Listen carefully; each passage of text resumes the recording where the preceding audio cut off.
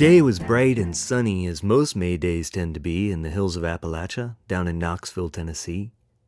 A dozen men put on their suits and quickly took their places in white robes and those tall and pointed hoods that hid their faces. Their feet fell down in rhythm as they started their parade. They raised their fists into the air, they bellowed and they brayed. They loved to stir the people up, they loved when they were taunted. They didn't mind the anger. It's exactly what they wanted. And as they came around the corner, sure enough, the people roared. But they couldn't quite believe their ears. It seemed to be support.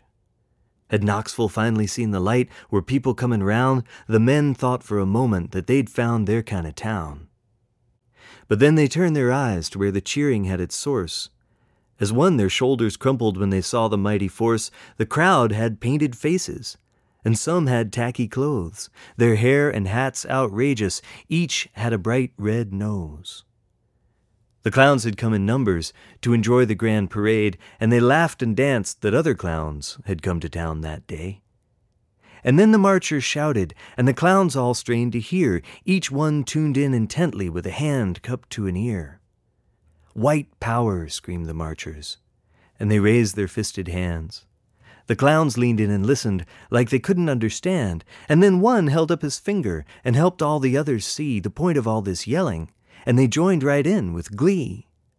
White flour, the clowns shouted, and they reached inside their clothes. They pulled out bags and tore them, and huge clouds of powder rose. They poured it on each other and they threw it in the air. It got all over baggy clothes and multicolored hair. Now all but just a few of them were joining in the jokes. You could almost see the marchers turning red beneath white cloaks. They wanted to look scary. They wanted to look tough. One rushed right at the clowns in rage and was hauled away in cuffs. But the others chanted louder, marching on around the bend. The clowns all marched on too, of course, supporting their new friends. White power, came the marchers' cry. They were not amused. The clowns grew still and thoughtful. Well, perhaps they'd been confused. They huddled and consulted, this bright and silly crowd. They listened quite intently. Then one said, I've got it now. White flowers! screamed the happy clown, and all the rest joined in. The air was filled with flowers, and they laughed and danced again. Everyone loves flowers, and white's a pretty sort. I can't think of a better cause for people to support.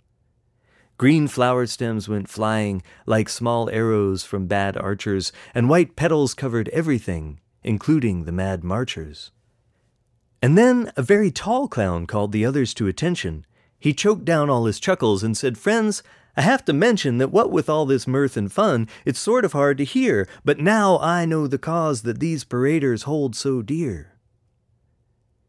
Tight showers, the clown blurted, as he hit his head in wonder. He held up a camp shower, and the others all got under. Or at least they tried to get beneath. They strained, but couldn't quite. There wasn't room for all of them. They pushed, but it was tight. White power, came the mad refrain, quite carefully pronounced.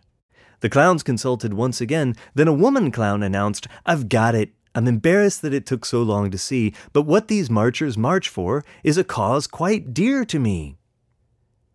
Wife power! she exclaimed, and all the other clowns joined in. They shook their heads and laughed at how erroneous they'd been. The women clowns were hoisted up on shoulders of the others. Some pulled on wedding dresses, chanting, Here's to wives and mothers! The men in robes were sullen. They knew they'd been defeated. They yelled a few more times, and then they finally retreated. And when they'd gone, a kind policeman turned to all the clowns and offered them an escort through the center of the town. The day was bright and sunny, as most May days tend to be, in the hills of Appalachia, down in Knoxville, Tennessee. People joined the new parade.